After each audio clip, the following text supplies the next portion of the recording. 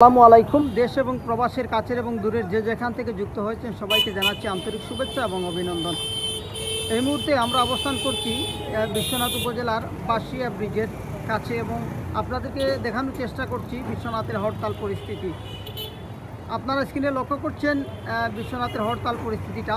এখনও পর্যন্ত আমাদের কাছে কোনো অপ্রীতিকর ঘটনার কোনো খবর আসেনি এবং কোনো অপ্রীতিকর ঘটনা ঘটেও নি এবং বলতে গেলে এক প্রকার শান্তশিষ্ট পরিস্থিতি রয়েছে বিশ্বনাথে আইনশৃঙ্খলা রক্ষাকারী বাহিনীরা কিন্তু তাদের নিজ নিজ দায়িত্ব কঠোরভাবে পালন করে যাচ্ছেন এবং কঠোর অবস্থানে কিন্তু তারা রয়েছে।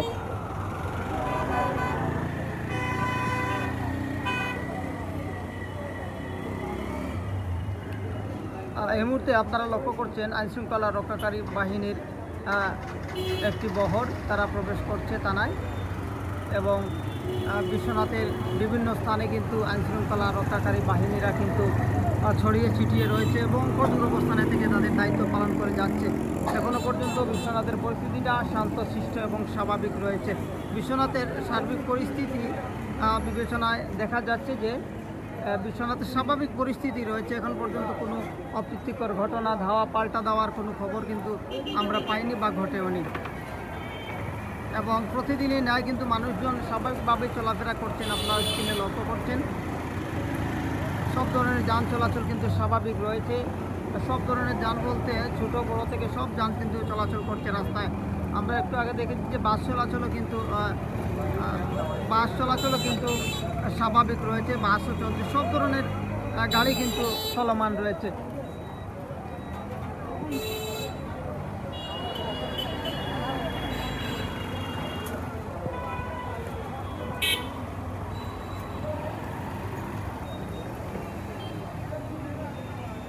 আমরা যে স্থানে দাঁড়িয়ে রয়েছি, আমরা কিন্তু রয়েছি বাসিয়া ব্রিজের এক প্রান্তে এবং সেখান থেকে একটি রাস্তা কিন্তু সিলেট এবং অন্য একটি রাস্তা আপনারা স্ক্রিনে লক্ষ্য করছেন, এই রাস্তাটি লামাখাজি এবং এই রাস্তাটি কিন্তু জগন্নাথপুরে গিয়েছে এবং স্বাভাবিকভাবেই কিন্তু গাড়িগুলো চলাচল করছে, কোনো রকম বাধা বিপত্তি ছাড়াই এবং বলতে গেলে শেষ পর্যন্ত বিশ্বনাথের সার্বিক পরিস্থিতিটা স্বাভাবিক রয়েছে।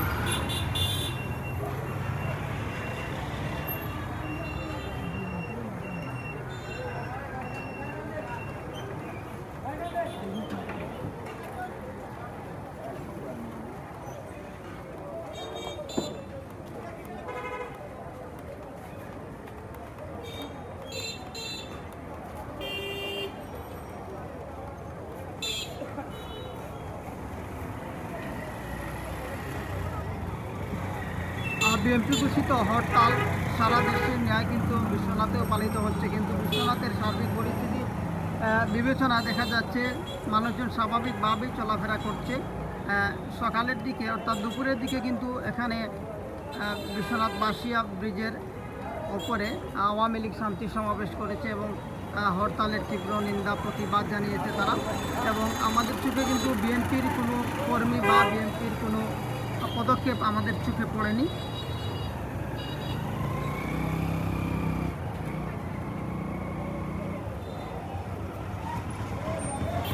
প্রিয় দর্শক সব মিলিয়ে বলতে গেলে বিশ্বনাথের পরিস্থিতিটা এখন পর্যন্ত সুস্থ এবং স্বাভাবিকভাবেই রয়েছে।